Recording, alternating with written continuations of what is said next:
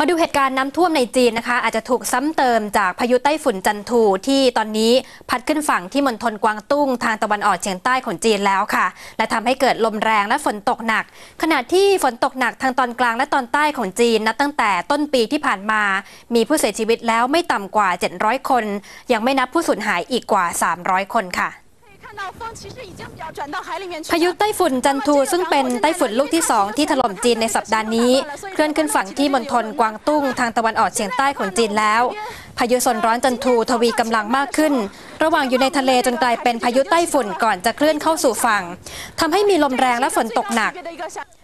เรือหาปลากว่าพันลำในมณฑลกวางตุ้งต้องติดอยู่ที่ท่าเรือโปเหอ เนื่องจากลมและฝนที่พัดถล่มในพื้นที่ในช่วงเที่ยงตามเวลาท้องถิ่นทำให้มีต้นไม้หักโค่นและผู้คนต้องวิ่งหาที่กำบัง คาดว่าอิทธิพลของพายุจะส่งผลเต็มที่ในช่วงบ่ายวันนี้ ขณะที่เที่ยวบินและเรือขนส่งสินค้าทั้งในมณฑลกวางตุ้งและเกาะไหหลำหยุดให้บริการตั้งแต่ก่อนพายุเข้าแล้ว ก่อนหน้านี้ไม่ถึงสัปดาห์พายุไต้ฝุ่นโกนเซินที่พัดถล่มเกาะไหหลำทางตอนใต้ของจีนทำให้มีผู้เสียชีวิตสองคนก่อนจะเคลื่อนตัวไปที่ประเทศเวียดนาม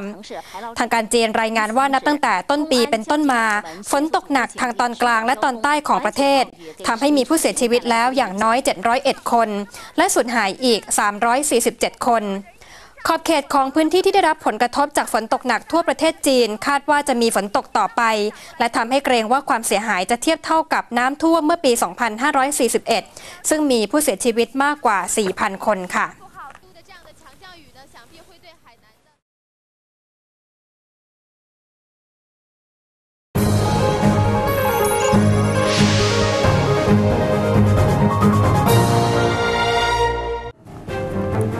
สวัสดีค่ะ สวัสดีค่ะ การรายงานข่าวของกรมอุตุนิยมวิทยาเนี่ยเป็นที่แพร่หลายนะคะในหลาย ๆ ประเทศค่ะ แต่ว่าในเมืองไทยเราเองเนี่ยดิฉันว่าคนไทยไม่ค่อยที่จะดู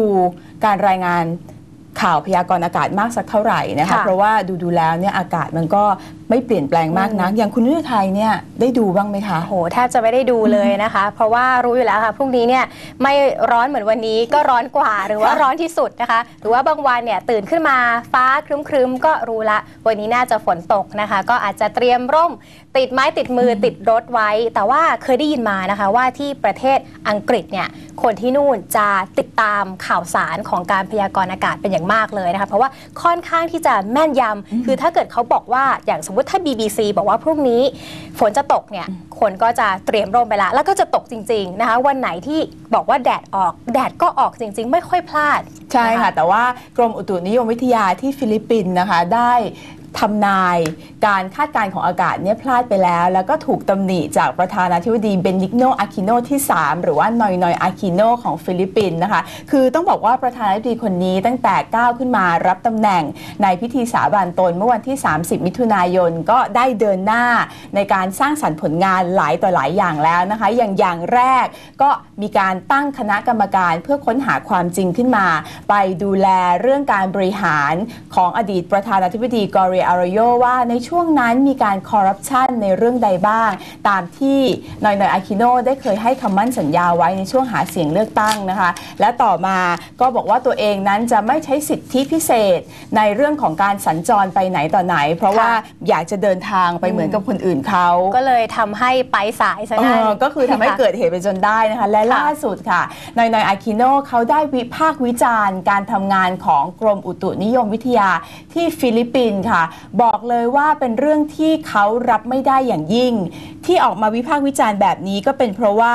กรมอุตุนิยมวิทยาของฟิลิปปินส์เขาไม่ได้เตือนให้ประชาชนในกรุงมะนิลานะคะ รับมือหรือว่าเตรียมความพร้อมเกี่ยวกับการมาของพายุไต้ฝุ่นโกนเซินนั่นเองค่ะนอยๆเขาเลยบอกว่า เราหวังที่จะพึ่งกรมอุตุนิยมวิทยาว่าให้บอกว่าปัญหา หรือว่าผลกระทบที่จะเกิดขึ้นกับชีวิตของประชาชนนั้นอยู่ตรงไหนแต่คุณกลับไม่ทำใช่ค่ะ ที่มะนิลาเองเนี่ยนะคะอาจจะไม่ได้อยู่เป็นศูนย์กลางของพายุลูกนี้นะคะ แต่ว่าก็ได้รับผลกระทบไปด้วยนะคะ ก็ทำให้มีไฟฟ้าดับนะคะในหลายเมืองหลายต่อหลายครั้ง แล้วก็สร้างความเสียหายต่อเสาไฟฟ้า ลมแรงก็ทำให้ต้นไม้เนี่ยหักโค่นลงมาส่งผลกระทบไปถึงหลายสายการบินที่สนามบินมะนิลาด้วยนะคะ ที่จะต้องเลื่อนการบินออกไป โรงเรียนหลายแห่งก็ต้องมีการปิด ชั่วคราวนะคะอาคิโนเนี่ยบอกเลยนะคะว่าข้อมูลของกรมอุตุนั้นไม่เพียงพออย่างมาก แล้วก็เป็นแบบนี้มานานแล้วด้วยนะคะ ซึ่งกรมอุตุของฟิลิปปินส์เองเนี่ยเคยถูกตำหนิมาแล้วเมื่อเดือนกันยายนปีที่แล้วนะคะ หลังจากที่ไม่สามารถเตือนชาวมะนิลาว่าจะมีพายุโซนร้อนกฤษณาพัดเข้ามาจนทำให้มีผู้เสียชีวิตเนี่ย มากถึง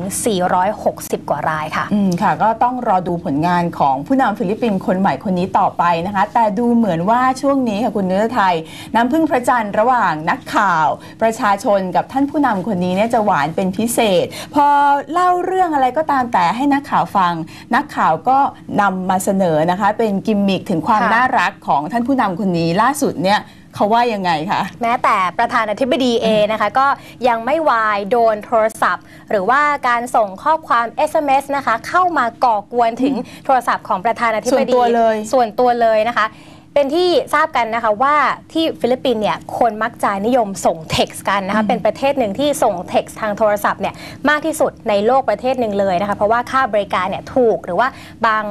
บางโปรโมชั่นก็อาจจะฟรีเลยนะคะ แต่ว่าประธานาธิบดีนอยนอยเนี่ยแหละค่ะ ก็